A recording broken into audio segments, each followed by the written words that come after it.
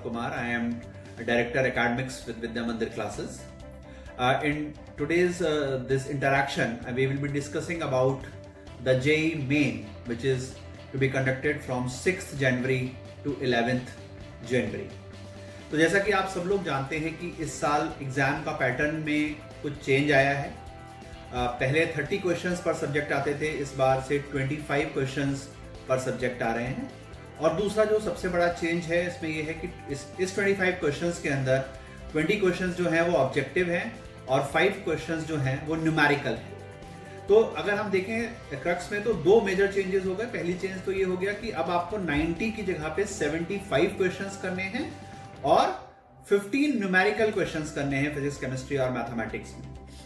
तो अब हमें किस तरीके से आने वाले दिनों में अपने आप को फोकस करना है, किस तरीके से अपने आप को फ्रेम करना है, इसके ऊपर हम लोग अभी बात करने जा रहे हैं। इससे पहले कि हम इस पे डिस्कशन स्टार्ट करें, मैं सारे जितने विद्यार्थी इसको देख रहे हैं, जो all the students are watching this video I wish them all the best for their January JEE main session और टिप्स को स्टार्ट करने से पहले मैं एक एडवाइस सारे स्टूडेंट्स को देना चाहता हूँ कि एक एग्ज़ाम एंड ऑफ़ लाइफ नहीं होता है तो अगर कुछ भी अप डाउन जरा बहुत होता है तो उसमें बहुत ज़्यादा डेस्परेट होने की ज़रूरत नहीं है। आपके पास अप्रैल का सेशन है और उसके अलावा भी बहुत सारे और एग्ज़ाम्स हैं, जैसे बिट्स है वीआईटी है आईपी है। और अगर ये भी नहीं है तो लाइफ में और बहुत सारे करियर हैं तो किसी भी तरीके का अपने आप को बहुत ज़्यादा टेंस करने की ज़रूरत नहीं है राइट तो हम लोग बात करते हैं सबसे पहले कि अब जो ये जो क्वेश्चंस कम हुए हैं, इससे क्या हो गया है कि जो टाइम है पर क्वेश्चन आपके पास बढ़ गया है। तो काफ़ी हद तक हम ये कह सकते हैं कि या तो क्वेश्चन पेपर का लेवल जो होगा थोड़ा सा एलिवेट होगा इस बार, या फिर ट्रिकी क्वेश्चंस जो होंगे, वो पुटेन होंगे। तो आप लोगों को भी अपने आप को इसी तरीके से तैयार करना है कि आपको जो थ्री आवर्स में 75 क्वेश्चंस करने हैं, वो काफ़ी स्मार्ट वर्क से करने हैं, क्योंकि कट ऑफ़ जो होगी, वो बढ़ने के चांसेस काफ़ी ज़्यादा हैं because every student is getting more time in the paper right so so, uh, हम लोगों को क्या करना है? सबसे इंपॉर्टेंट तो है कि आप सब लोगों के मोस्टली एडमिट कार्ड सबके आ चुके हैं। आप लोगों को अपने एग्ज़ाम का टाइम स्लॉट पता है uh, कि मॉर्निंग है या इवनिंग है।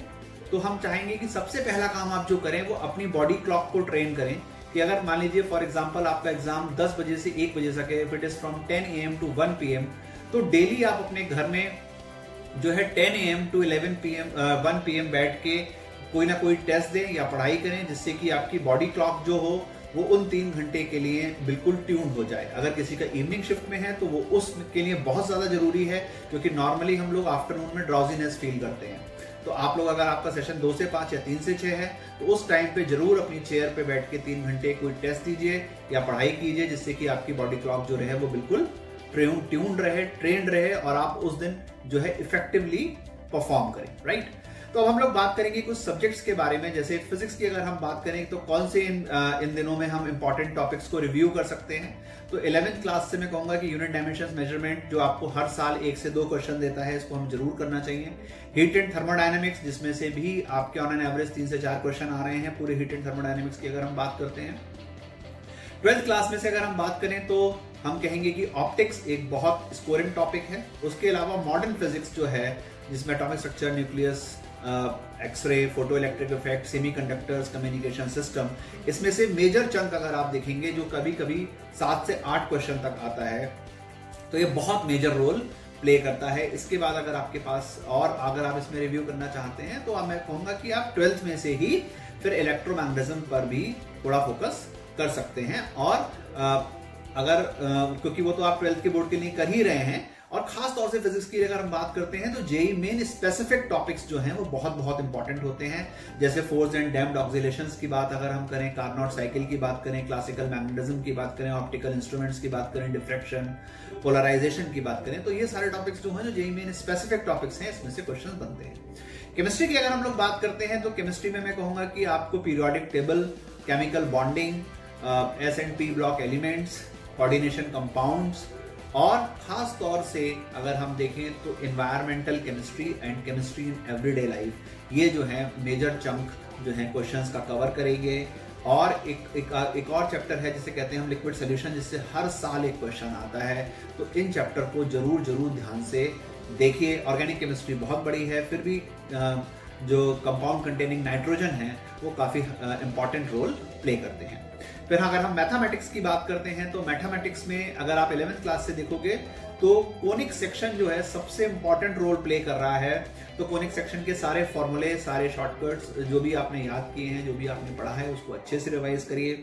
फिर उसके बाद मेट्रिसेस एंड डिटर्मिनेंट्स है, जो एक क्वेश्चन लेके आता है सेट रिलेशन फ़ंक्शन एक क्वेश्चन लेके आता है। ट्वेल्थ में से अगर हम बात करते हैं तो differential equation three D vector और एरिया अंडर कर्व्स ये जो है काफ़ी जो है चंक ऑफ़ क्वेश्चंस आपके कवर हो जाते हैं। तो ये तो हमने कुछ बात करी कि क्या क्या इंपॉर्टेंट टॉपिक्स हमारे पास हैं, जिनको हमें रिव्यू करना ही करना है।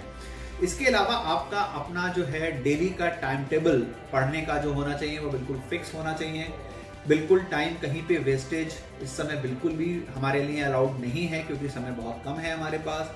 अपने स्क्रीन टाइम को बिल्कुल लिमिट कर दीजिए। मोबाइल, फ़ोन या कंप्यूटर या वीडियो गेम जो भी आप देख रहे हैं, उसमें कम से कम समय आप खर्च करिए। सिर्फ़ जब आप ब्रेक लेते हैं तो रिजोनोवेट करने के लिए जो भी आपको 15 20 25 मिनट की रिक्वायरमेंट है, उसमें ही आप इसको यूज़ करिए। उसके अलावा इसको यूज़ मत करिए। इस समय पे बहुत ज़्यादा किताबें या बहुत सारी जगहों से चीज़ों को रेफर भी मत करिए, क्योंकि वो कन्फ्यूज़न क्रिएट करेगा। बहुत ज़्यादा अपने दोस्तों से या पीयर ग्रुप से भी बात मत करिए। क्योंकि वो भी कन्फ्यूज़न क्रिएट करता है। अब आपके पास टाइम जो है, वो माइक्रो फोकस करने का है कि जो आपका ऑब्जेक्टिव है, उस पर आपका फोकस जो होना चाहिए, वो बहुत बहुत स्ट्रांग होना चाहिए। और आपको सिर्फ़ और सिर्फ़ इस समय रिवीजन रिवीजन और रिवीजन और प्रैक्टिस के पे ही काम करना है। लास्ट में सबसे इंपॉर्टेंट अपने आप को ठीक रखिए एंटीऑक्सीडेंट्स लीजिए, बहुत ज़्यादा फ्राइड चीज़ें या अनहेल्दी फ़ूड मत खाइए। प्रॉपर स्लीप लीजिए छह से सात घंटे की और खास तौर से जब आपका एग्ज़ाम डे हो, उससे एक रात पहले साउंड स्लीप आठ घंटे की, सात घंटे की जो है, वो ज़रूर लें। रात भर जग के एग्ज़ाम बिल्कुल नहीं दें क्योंकि आपका एग्ज़ाम उससे खराब हो सकता है। इन सारी चीज़ों को ध्यान में रखें और अपने एग्ज़ाम की तैयारी को रोबोस्ट करें। एक बार फिर मैं आप सबको wish you all the best from entire Vidya Mandir classes family thank you so much